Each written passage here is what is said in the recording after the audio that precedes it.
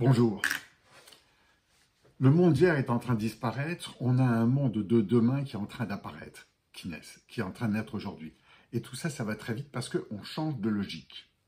Je voudrais prendre un exemple pour ce changement de logique. Le GIEC, groupement d'experts intergouvernemental sur l'évolution du climat. Ça a été créé en 1988 dans le cadre de l'ONU pour voir comment le climat évoluait. Et on en arrive à la conclusion, si on veut pour simplifier, que nous sommes passés du dérèglement climatique au réchauffement climatique. Et que l'une des causes principales de ce réchauffement climatique étaient les émissions de carbone anthropogènes, dont liées à l'homme. Or, la réponse n'est pas là. En 1988, on sortait d'un monde, on rentrait dans un nouveau monde que j'ai appelé les 30 insouciantes, c'est-à-dire un monde énorme qui se développe avec la Chine qui devient la deuxième puissance mondiale et ses pays voisins qui produisent de plus en plus.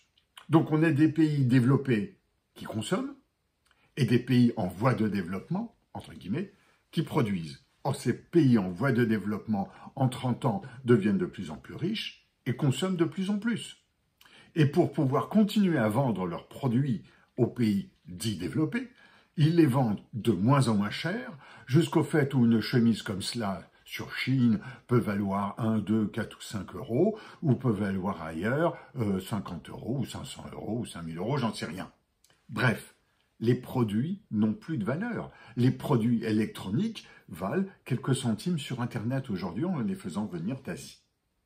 Donc le problème aujourd'hui, et bien sûr le problème du climat, mais c'est le problème de la consommation. C'est notre consommation qui devient l'élément qui perturbe le climat et d'autres éléments comme la société, les retraites ou autres.